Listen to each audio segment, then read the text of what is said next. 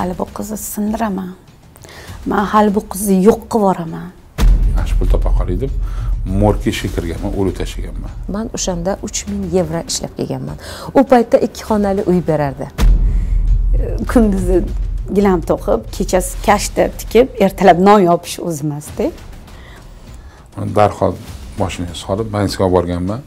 Больницада vafot etgan. Bir ko'ylak kiysam albatta ustidan kostyum kiyaman.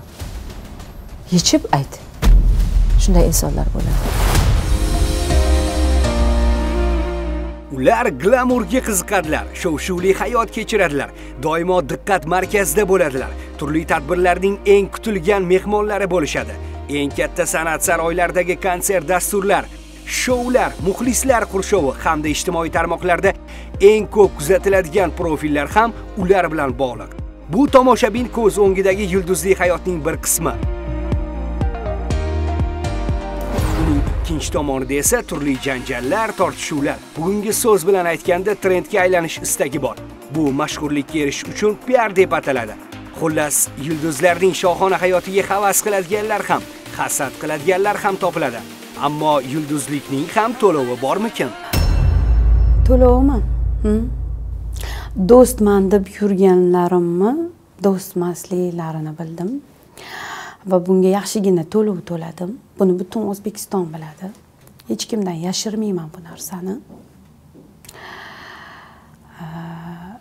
Mayli agar shu to'lov bilan to'lanadigan bo'lsa mayli. Man oilamga farzandimga yoki bir yaxshi ko'rgan insonimga yo bir sog'lig'im taraflama yo biron narsam bilan to'lamasam bo'ldi. Katta odam bo'lganingizdagi nan otasidan ichima bo'lgandan keyin hammasi sizni bo'yningizda bo'ladida.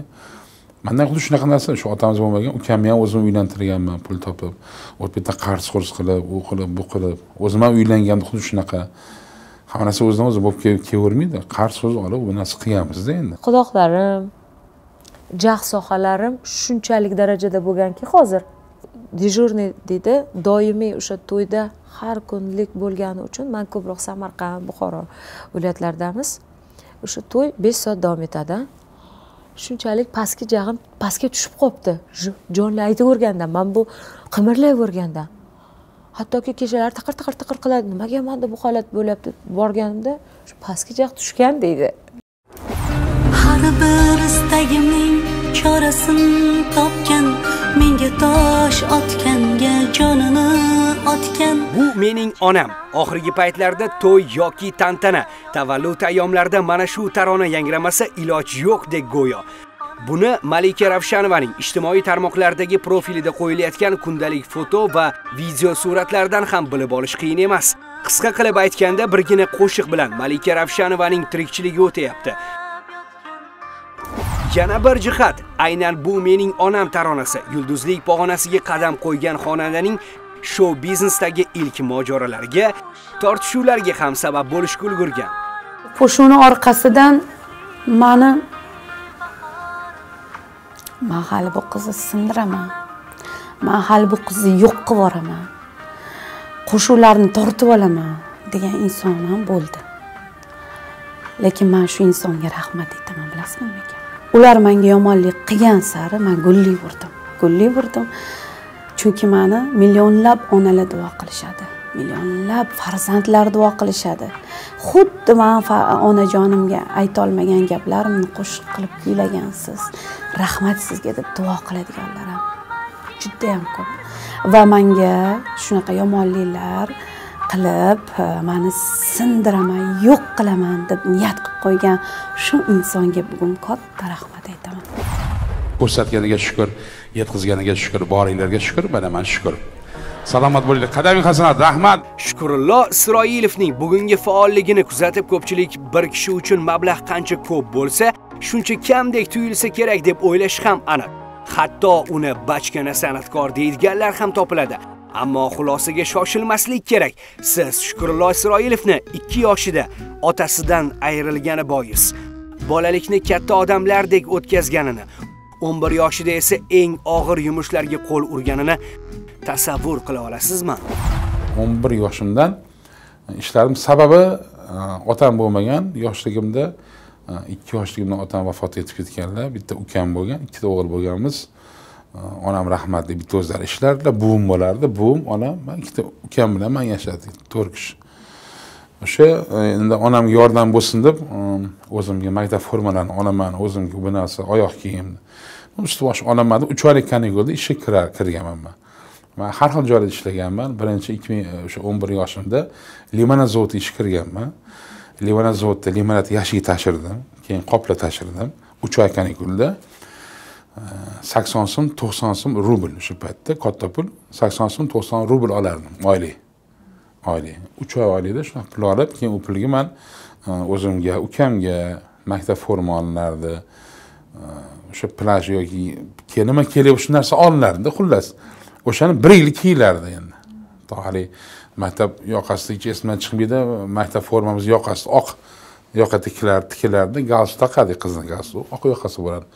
Shu oq yoqani bunaqasiga aylantirib bunaqasiga aylantirib totishirguncha yirtilguncha taqib kiyilardi ya'ni payt sal qiyinchilik bo'lgan e, nima deydi e, sharoitimiz og'irroq bo'lgan. Onam rahmatli bitta o'zlari ishlardilar endi pullari yetmas shuncha onaga yordam bo'lsin deb e, ikki yil limonad ishlaganman. Undan keyin mikonzovda ishga kirganman bog'bon bo'lib.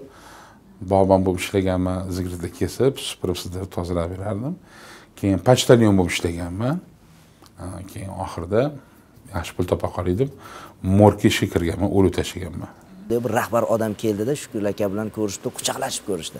Rahmat ukajon sizga bilasizmi siz meni xaloskorimsiz dedi. Shukur aka ham hayron bo'ldi. E qanaqasiga dedi. Chunki shukur akamiz bu paytlar onasiga yordam bo'lish uchun endi iqtisodiy tomondan e, oilani ta'minlab turish uchun shu e, kasalxonada ham ishlagan paytlari bo'lgan. Shunda shunday bir voqea bo'lgan ekanki o'sha e, kattaroq rahbar odam bir qattiq e, ko'richak bo'lib qolganda va ko'richagi yorilib ketgan jarayon bo'lgan ekan tepa etajga operatsiya stoliga olib chiqib ketishayotgan paytda liftni chirog'i o'chib qolganmi yoki lift to'xtab qolgan shu lift ishlamay qolgan payt bo'lgan ekan ochilmay qolgan. Shu paytda hali liftga kirmasdan turib shukurlar akam shu yerda ishlayotgan bo'lgan. Va o'sha insonni ko'tarib bir to'rtinchi etajga nechinchidir etajga olib chiqqan ekanlar. Va ulgurib qolingan ekan o'sha odamni operatsiya qilib hayoti allohni irodasi orqali saqlanib qolgan ekan. Ana shu narsani gapirib rosa shu odam xursand bo'lganlar. Yuragim seni so'raydi ne qilay tushunmasa ko'zlarim sensiz yashashimga afsus ko'nmasa orzular nega endi biz o'ylaganday bo'lmasa? Sen sevsang u sendek sevmasa sevmasa. Sirli go'zal diapazoni keng ovoz. Ko'pchilik san'atkorlar havas qiladigan jihatlarga ega yulduz turdiyevaning muxlislari nafaqat yurtimizda balki chet davlatlarda ham talaygina. Uni xalqaro tanlovlarga ham taklif qilishadi. Yulduz esa muvaffaqiyat bilan qaytadi. Birinchi mablag' ishlaganim biz 6 ta davlatga safarga ketdik. Aynan maqom e, konsertlari. Germaniya gollandiya shvetsariya fransiya. Adashmasam o'n uch kun davom etgan bu safarimiz man o'shanda 3000 yevro ishlab kelganman. U paytda ikki xonali uy berardi toshkentda. Ikki ming to'rtinchi yil gapi. Man uy olmadim ota onamga xursand bo'lib e, shu olgan birinchi ish haqimni ota onamga aytib berdim. Malika ravshanova bilan sodir bo'lgan mazkur holat go'yoki ertalab yulduz bo'lib uyg'onganu kutilmagan olqishlardan shokka tushib qolgan kishining ahvolini eslatardi. Chunki sevimli bo'lishga ulgurmay turib nafrat va tuhmatlar ostida qolishni xonandaning o'zi ham kutmagani aniq. Chunki ruhiy bosimni yengib ketish hammaning ham qo'lidan kelavermaydi. Ammo muxlis ko'z o'ngidagi hozirgi malika bunday holatlarni bolaligidan yengish ko'rgan oho bolaligimdan bo'lgan. Kollej paytida ham bo'lgan. Sahnalarda har doim man olardim. Kerakli eng katta finalga boshqalar ketardida. Imtihon paytida ashula aytganda hamma tomosha qilganda endi o'zi kichkina bo'lsa ham bir qop ovozi bor edida samarqand shohi degan katta ashula bor. Shu ashulani malika aytganda Endi o'sha payt konsultatsiya payti hamma domlalar bor o'tdi. Shu sohani ustalari o'tiribdi. Nima ashula aytasan deganda samarqand shohi deganda o'shanda yo'q ey degan domlalar. Qani eshitaylik deganda bemalol aytib berganda o'shanda hammamiz nima deydi qoyil lol qolganmizda. Birinchi anaqasini o'zida bo'ldi bu qiz o'tdi deganda lekin shunaqa bo'lmagan. Mani orqamda tankam bo'lmaganda birinchi marta o'n olti yoshimda qo'limga mikrofon olib shu to'yda gapirganman. Mahallamizda qo'shnimizda to'y bo'lgan ustozimiz mirzabek akamni latifalarni yodlab olib o'sha sakson adashmasam yo sakson beshinchi yilmi yo sakson oltinchi yilmi o'sha qo'shnim to'yda gapirganman. Gapirib ikkita latifa aytib berganman. Hamma kulgan ustim pul ishlaganman shu payt uch rubl artist bo'laman desam onam rahmat artist bo'lmaysan kerak emas bizani avlodimizda artist yo'q. Ertaga uylansang nima deb artistga deb qizini bermaydi hech kim. U payt shunaqa gaplar yurardi endi. Kerak emas deyilardi endi onam aytganini qilay deb bo'pti. Deb toshma ekzamen topshirganman. Toshkentda o'sha meditsina institutiga e, besh ball yetmagan manga samarqandga jo'natgan o'qishga. Man bormaganman keyin onam bilan mana больницаga ishga olib kirib qo'yganlar. Больницаga ishga kirganman. Bir yil o'sha o'n beshinchi ko'l sanitar bo'lib ishlaganman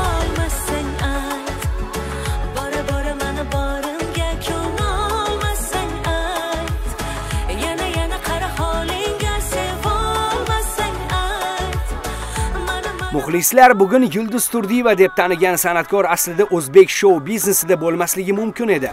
Opam laziza e, oyim juda ham xohlaganlar. Opam 10 yosh katta mendan, aziza ism. Keyin e, tug'ilganimda o'sha e, metrika beriladi. Shunda aziza deb onam otamni rozi qilganlar.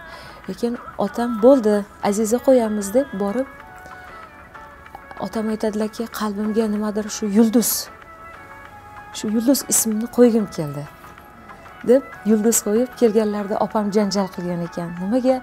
Siz aziza qo'ymadingiz.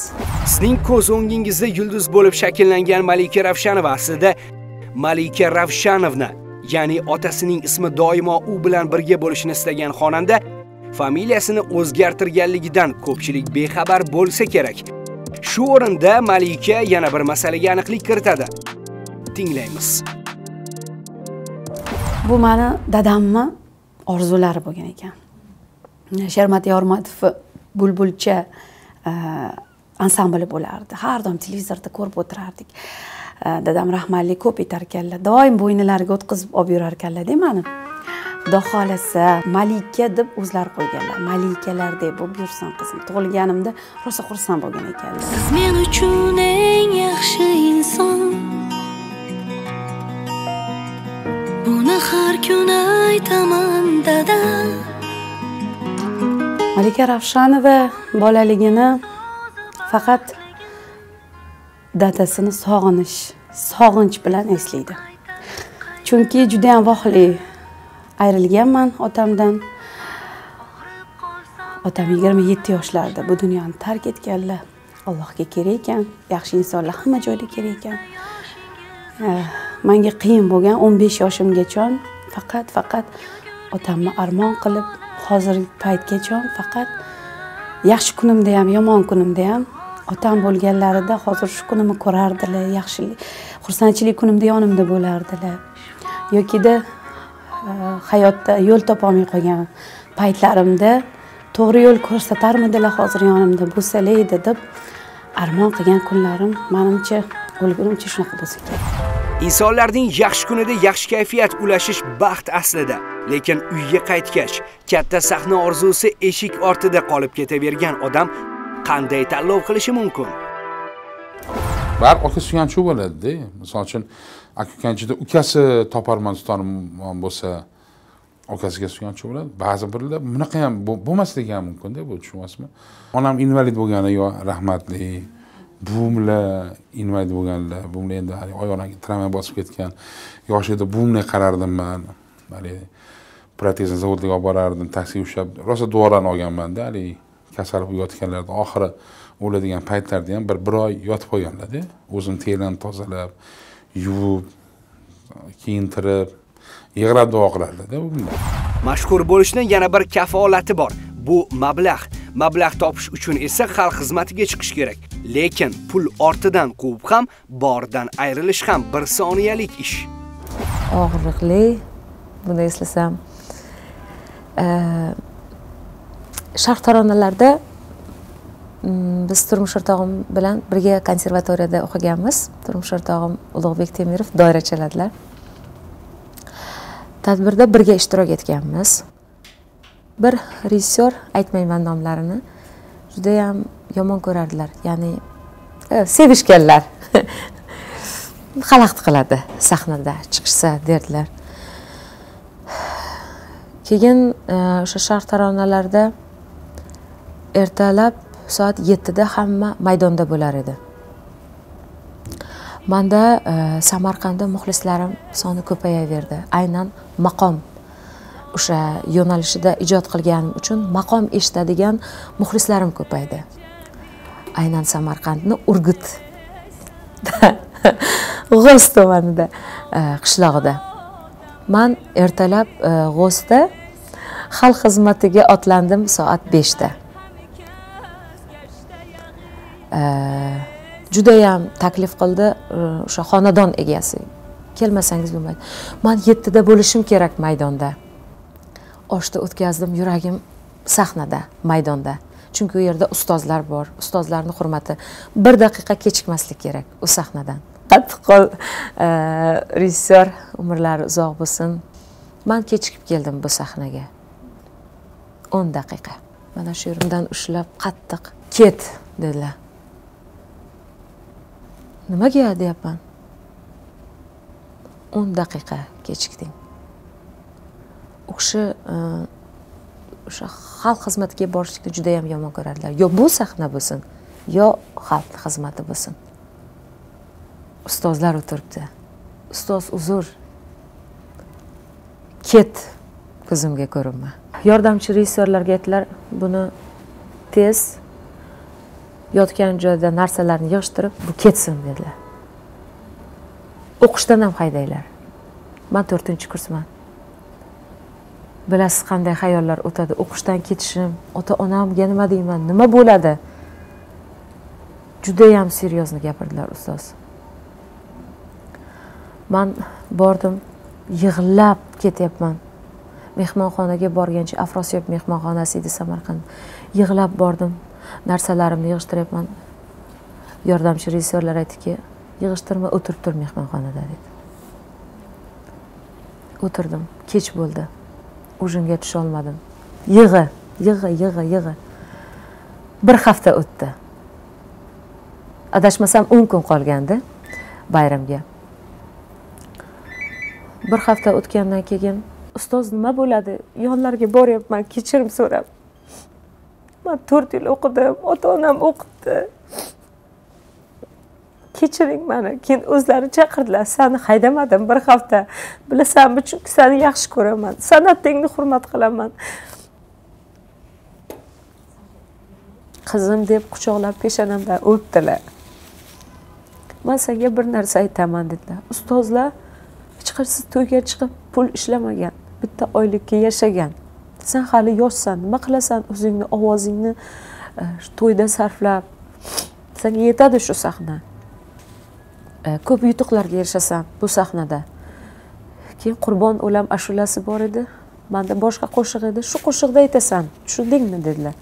O'lmas olloberganov bilasiz qurbon o'lamni me'yoriga yetkazgan xonanda buxorolik ustoz san'atkor biz birga ijro qildik. O'sha kuni sahnaga keldim yig'lab ijro qilyapman. Man qayta qaytdimmi shu sahnaga? Man o'qishdan haydalmadim deyapmanda o'zimga o'zim. Mashhur kishi oddiy odamlar ko'z o'ngida har qanday jihatdan ta'minlangandek tuyuladi. Ammo aynan mana shu insonni bir paytlar hatto qo'g'irchoq yoki shirinlik sotib olishga ham imkoniyati bo'lmagan desak ko'pchilik ishonmasligi mumkin.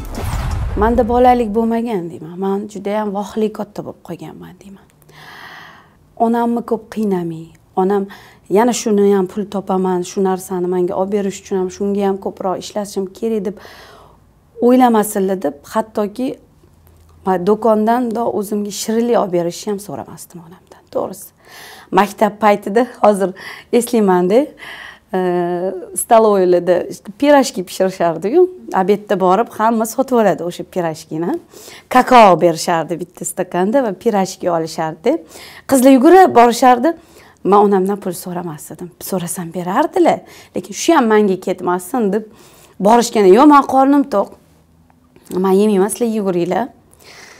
Hattoki shunga ham man onamni qiynagim kelmagan chunki ko'zim bilan ko'rib ular qanaqa bizani boqqanlar. Mani onam gilam to'qiganlarda u gilam judayam oson ish emas. Bittalab qadab to'qish oson ish emas.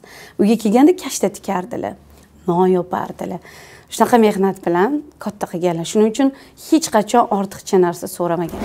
So'z ustasi qanday holatda bo'lmasin muxlis undan biror bir latifa aytib berishni talab qiladi. Mahallaning lo'ppi yigiti shukurullo ham bir vaqtlar qalbi yig'lasada kuni bo'yi ishlab charchagan bo'lishiga qaramasdan kechasi mahalladoshlarning to'y tadbirlariga otlanardi. Eng sostav qo'shilgan paytim to'ylarga chiqilardida haligi bir endi kimligini aytmayman o'lib ketdi rahmatli u san'atkor shuni oldida yurardimda и manga hech e, qo'limga arzimagan pul berishardi o'sha payt yosh bo'ladi. Man o'sha uzoq joydan e, taksida kelmasin deb o'sha pul yonimga qolsin deb yo'lma yo'l avto transport poylab kelaveradi poylab poylab ikki soatlab uch soatlab ba'zi paytida yonimda pul bo'lgan avtobus chiqqanda pulim bo'lmasdi kontrolyor yurardi u paytda. Pul to'lasa ha deb karsa qoqib o'zimni sekin jinay qilib tushib ketardim mana shunaqa.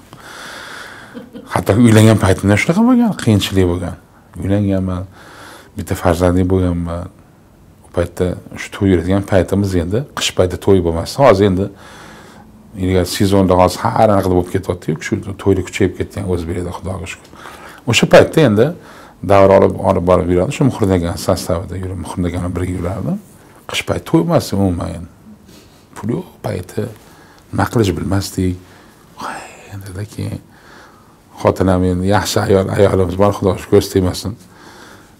Borib uyda uydagilar prototilni jo'natardi bu yoqdan onam rahmatli berardilar. Bekitish hojati yo'q bo'lgan boshimizda. Birov olib kelib bergan kartochkalar undan olganmiz bundan olganmiz. Shunaqa bola chaqani boqqanmiz hattoki kichkina o'g'lim tug'ilganda man roddomdan olib chiqishga pulim bo'lmagan. Endi orzu hasonmi yo shunchalar ish arzonmi yo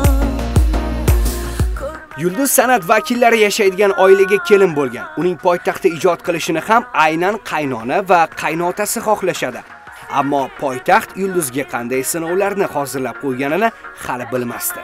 Xo'jayin bilan toshkentga keldik. Hech narsasiz.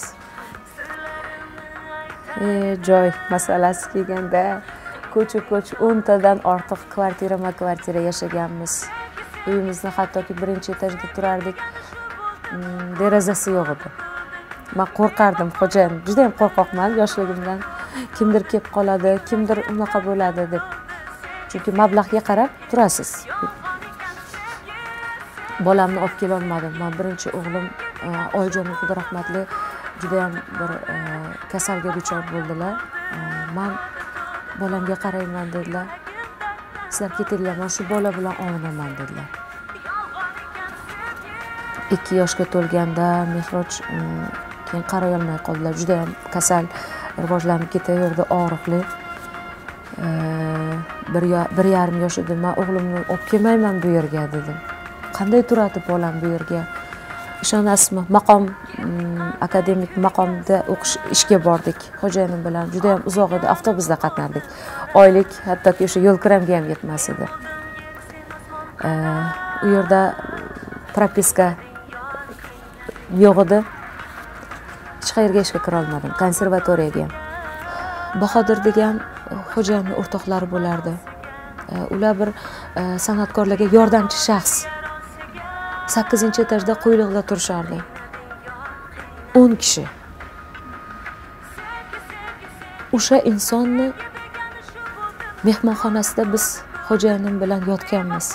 Bir oy joy bergan shu inson.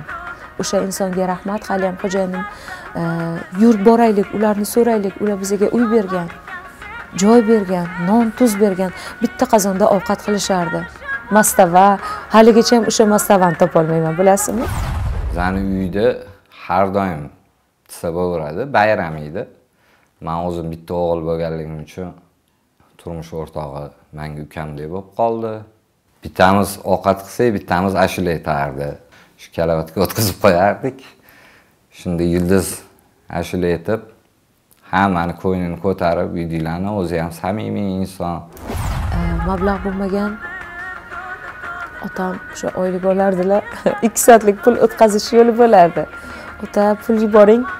Otam bechora bo'ldi qizim deb ikki soatda pul jo'natardilar pochtadan olardik. Yoki qaynatam ham kim akam qayerda bo'lsa ishlasa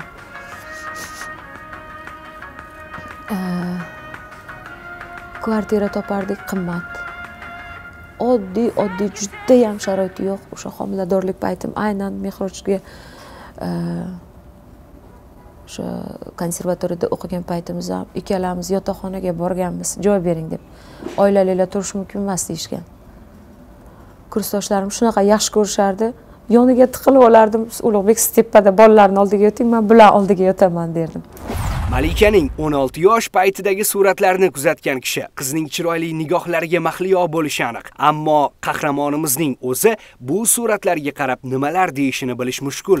Chunki 15 yoshimda e, madaniyat kollejiga kirganman o'qishga. E, keyin ichim unaqa ko'p ayriliq bo'lmaganda har hafta pulim bo'lsa ham bo'lmasa ham jizzaxga ketib qolaverardimda opam aytadilar man opa deb bizada opa deyiladi onam aytardilar shanba bo'lsa voy bugun kelib qolmasinda ketishiga qayerdan pul olib berarkanman deb turar ekanlarda lekin borsam albatta um, bildirmasdilar. Uh, u payti uh, hozir ham bo'lsa kerak turmush o'rtog'i o'tgan oilalarga farzandlariga bola puli berilardi topganlarini menga berib yana jo'natardilar. Ketgim kelmasdi. Ish qilib shu hafta oxirida shu qizim yo'lga qarab turar ekanlar borib borardim. Bir yil rosa qiynalib o'qiganmanda keyin o'n olti yoshimdan boshlab e, mani o'rtoqlarim bor. E, mani agar hozir ko'rishayotgan bo'lishsa muzaffar degan hoshimov muzaffar kursdoshim bo'lganlar. Keyin shavkat o'rtog'im bor edilar. Hozir ham oilaviy do'stmiz oilaviy yaqinmiz. Barno degan o'rtog'im dugonam bo'lardi. Hozir ham borlar biza nima ko'rs nima topsak o'rtada baham ko'rib o'sha payti ham e, mana shunaqa hayotni past balandlaridan o'tib o'qishlarni bitirganmiz. Shu o'n olti yoshimda pul topishni boshladim. Nazarbekga to'yga borganmiz. Malika ashulachi hofiz bo'lgan. O'rtani kim olib boradi san gapga ustasan deb manga o'rtani olib borasan deyishgan. Yana bitta o'rtog'imiz u muzaffar do'stimiz uslitel kolonkalar olib borgan. Qo'rqmasdan ketganmiz birovni to'yini o'tkazishgada student o'n olti yosh paytimizda. Borib shunaqa chiroyli to'y bo'lgan tekinga borganmiz. Shunaqa zo'r to'y bo'lgan haligi to'yda bir dunyo pul tushganda birinchi topgan pulimga o'n sakkiz yoshimda shahardan toshkentdan uy olganman san'at qarang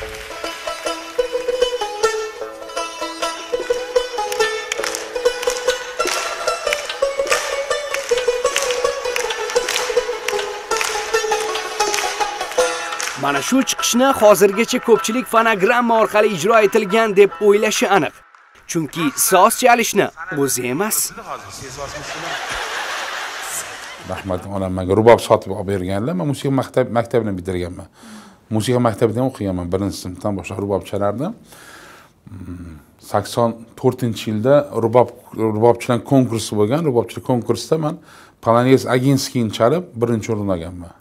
Shahar bo'yicha rubobda xohlaysizmi xohlamaysizmi? O'zbekistonda xizmat ko'rsatgan. Baribirda xizmat ko'rsatgan ko'rsatib bo'ldi. Chunki biza bilamiz xalq. Shou biznes olamida iste'dodli xonandalar tezda prodyuserlar e'tiboriga tushadi. Turli takliflar mashhur qilish garovi va yana boshqa takliflar bilan san'atkorlarga murojaat qilishadi. Va aynan o'sha boshqa takliflarga ko'nadiganlar ham ko'nmaydiganlar ham bor. Sizni ming turmush o'rtog'ingiz bo'lsin yomon ko'zda qaraydigan yoki yomon takliflar qiladigan inson o'ziga bog'liq deysiz katta shaharda voqealar ko'p. Endi yana vaqt mashinasidan bugungi kunga qaytamiz. Nega endi bu mening onam qo'shig'i? Shunchalik shov shuvlarga sabab bo'ldi. Aslida bu taronaning yaratilishiga qachon zamin yaratilgandi? Ona haqida har bitta san'atkorni o'zini qo'shig'i bo'ladida lekin nimagadir man hali tayyor emasman hali tayyor emasman man onamga shunaqa qo'shiq aytishim kerakki e, yuzlab millionlab ona haqidagi qo'shiqlarni ichida u yo'q bo'lib ketishi kerak emas. Mani onam shunaqa narsaga loyiqli. Onamni shu narsalardan ta'sirlandim uchinchi farzandimni dunyoga keltirdim. Ozgina e, besh olti oylik qilganimdan keyin e, shoir rislig'oy xotamova oilaviy do'stmiz biza. Ona haqida she'r yozib bering dedim o'n to'rt yilda endi so'rading dedilar ona haqida she'r. Nimaga dedilar man bildim dedim. Man onamni yo'qotib qo'yishim mumkin edida shunaqa she'r yozib bering. Onamni hayotlaridan olib she'r yozib bering dedi bilsangiz qush tinsa tinmagan bahorim degan. Qush tinsa ham man onam tinmagan edi.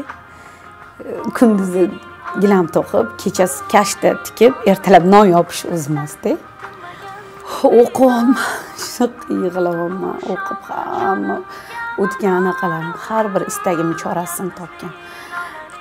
Topardilarda onam. Yo'lini topardilar. O'sha yili yozda e, tug'ilgan kunlarida kechasi shag'amchalar yoqib uy oldiga syurpriz qildik. Shunaqa dunyolarga sig'maganlar. O'sha o'sha video hali ham bor. O'zimni tug'ilgan kunimda ham keyin mani tug'ilgan kunimda bundan bir yil oldingisida qizim shu qo'shiqni aytib o'zimga sovg'a qildi. Voy bu boshqacha bo'lar ekan. Har bir istagimning chorasin topgan. Menga tosh otganga jonini otgan. Dard cheksam yonimda mo'ltirab yotgan. Bu mening onam bu mening onam. Bir xilla san'atkorlar eng yomon odat bor bir xilla man yoqtirmayman shu odatni. Mensimaydigan odat bo'lib qoladi san'atkorlar. Ya'ni manmanlik kalampo deyiladi uh, o'zini bundoq qilib tutish. Bu yomon narsada man bilmadim. Man shu narsani hazm qilolmayman man oddiy joylagan esimdan chiqib mahallamda somsoqxona borda uh, anaqada nima deydi finansiy institut somsa qiladi. Zo'r qiladi somsani yaxshi ko'raman. Shu yoqqa kirib somsa yesam bir kun bittasi instagram yozyapti shundoq shukurlar chiroyli bo'lib turib o'sha yerga somsa yeyapsizmi deyaptida mayda nima bor deb yozdim javob yozdim mana ya sizlar bunaqa joyda yemaysizda sizlar restorandaku undoq bundoq deganda sizlarga yarashmaydi deb qo'ydi bir xilla inson qancha kamtar bo'lsa shuncha yaxshida baribir bir xillaga manmanlik qilib yuborasizlar jahlim chiqib ketib qoladi nima kerak bor manmanlik qilish mana man degan zo'r bo'lgandan keyin baribir tushadida o'zini vaqt soati bilan. Shuning uchun samimiy bo'lib yurishimiz kerak. Mani fikrim shu. Samimiy inson bo'lish bu eng zo'r narsa alhamdulillah. Samimiy ishonuvchan. Qo'ldan kelgancha yordam beradigan insonman qo'limdan kelgancha yordam berishni yaxshi ko'raman. San'atkorlarning necha puliga to'yga chiqishlari ko'plab muhokamalarga sabab bo'ladi. Yulduz turdiyeva to'y xizmatlariga yaxshigina mablag'ga chiqishini ko'pchiligimiz bilamiz chunki jonli ijroning bahosi baland. Hatto u ikki xonali uy qiymatiga ham yetishi mumkin. Man birinchi pulga ko'zim tushgan chunki uyli bo'laman. Hattoki nima aytilishiga emas man uyli bo'lishim kerak. Shunday bo'ldiki mm, u programmani ko'rganda o'ttiz daqiqa har bir ishtirokchiga o'ttiz daqiqa berilgan garabax shikastasini o'qish kerak. Nima bu garabax shikastasi ozarbayjonlarni yuragi u gimn necha kun vaqt qolgan? o'n ikki kun man prizni ko'rdimku u yerda. Manda maqsad uyli bo'lishim kerak. Ozarbayjoncha kim aytadi? Ha bu yerda konservatoriyada ochil matchonov bor. Xorazmlik. o'n ikki kun. Ishonasizmi? Ertalabdan kechgacha konservatoriyadan ketmay mana shu qo'shiqni o'rgan yo'lmay kechir qarabog'dan. Goh u dog'dan goh bu dog'dan falak olaylim mashaqqat bilan bosilgan san'at yo'lining qadri va qimmati baland bo'lishi turgan gap. Ammo o'sha san'at to'g'ri baholanmasligi aldanish holatlari ham yuz berishi mumkin. O'zi talabaman o'zi qiynalib o'sha man ikkita o'rtog'im borda muzaffar bittasi bittasi mm, shavkat. Biz to'yga chiqardik Э, to'yga chiqardik. Birga chiqqan paytimizda pullarni baravar bo'lib baravar kim nima ish qilishidan qat'iy nazar daromadimiz baravar edi. Lekin e, shunaqa odamlar ham bo'lgan kimligini aytmay qo'ya qolay. E, olib borib ishlatib ishlatib qo'limizga besh yuz so'm pul berib qo'ygan odamlar ham bermagan odamlar ham bo'lgan. Yosh bola bo'lganmiz edi yig'lardim. Chunki menga o'sha narsa kerak edida o'sha paytda kerak kerakligi uchun borganmiz. Bizga ortiqcha qiliqlar qilishi. Man aytaman man noto'g'ri qaradimmi yoki shu insonga? Yoki nimadir qiliq qildimmi sahnada? Yoki harakatlandim? Nimaga manga bu bunaqa qilyapti? Nimadir qilishimni xohlayapti. Manda shunday odat bor bir ko'ylak kiysam albatta ustidan kostyum kiyaman. Yechib ayt. Shunday insonlar bo'ladi. Bu ham bir noto'g'ri fikr u insonni. Yoki pastga tushib aytgin yoki o'ynab aytgin. Bu fikrlar noto'g'ri. Hattoki shunchalik darajada bo'lgan ko'pchilik bilan talashib mikrofonni shunday tushirib sizni ham farzandingiz bor sizni ham qizingiz bor sizni ham ayolingiz shu yerda mani ham oilam bor. Siz o'z qizingizga o'z singlingizga qaraganday qarang menga mani ham oilam bor. San'at sohasida bu yerda qo'shiq aytgan bilan man yomon yoki qanaqadir sizni qarashingiz o'sha yomon nazarda qarashingizdaqa man bir narsa qilganim yo'q deb shunaqa talashib ketadigan joylarim oxirgi paytda ko'p bo'ldi. Yulduzlik ham bir to'lov. Ba'zan bu to'lovlari juda og'ir bo'lishi mumkin chunki aynan shu to'lovda faqat o'zi emas uning yaqinlari azob chekadi. Ba'zan o'sha og'riqlarni davolash uchun qo'lidagi millionlab mablag'lar ham yetmasligi mumkin. To'qson to'qqizinchi yilda moshina kelayotganda milisa xodim bo'lgan endi mast bo'lgan mast holatda bo'lgan. Chayqalib turgan kelayotganimda chaqirib manga urilgan mashinaga urilgan o'sha man tarafni kriloga tegib aynani bosh bilan tushgan asparga. Uni darhol mashinaga solib больницаga olib borganman. Больницада vafot etgan. Endi palakatda endi bu misol uchun birov o'laman chiqmaydi. Endi просто aybi ichgan bo'lganda agar trez bo'lganda u chayqalib chaqib yurib ketib qolganda man kelgan paytda. Endi taqdir shunaqa ekan. Bu narsani bo'lmaydi lekin e, shuni ayoliga qaraganman. Misol uchun bular o'zi oblastdan bo'lgan toshkent propiskalar qilib berib toshkentdan uylar olib berganman tashlab qo'ymaganman. O'sha bolalarim katta bo'lgan hozir endi shu boqib shu paytgacha rozi rizolik qilganmiz. Bugungi yulduzlarimiz ortda qoldirgan mashaqqatlar yulduzlik sinovlari siz bilgan va bilmagan to'lovlar aslida ularning hayot kitoblaridagi o'zlari ochishni istamagan bir sahifa edi biroq o'sha sahifa negizida ularning go'zal orzular tomon intilishlari bor muhriddin aka uchastka nazar berdi. bular endi ketishganda safarga uyda ustalik ishlayapti. Man bilan ozodni qonlaring uyda ustalik qarab turuvdik yana bir besh olti kun yotib qolganmiz uyda. Man ham yangi uylangan paytim. Katta o'g'lim tug'ilgan paytda uyga bormaganman uch to'rt kun. O'sha yerda ozod bilan ustalik ovqat qilinardi idishton yuvardik. Hamma ham yotardik. Kechqurun yotimiz osmonga qarab yoz payti yotimiz endi ozod aytadi shukur aka. Qachon biz ham mashhur bo'lib ketarkanmiz? Muxor akamga o'xshab muxor mana muxor deb biz qachon ozod shukur bo'lib ketarmikanmiz dilida ozod. Keyin aytadim ozod.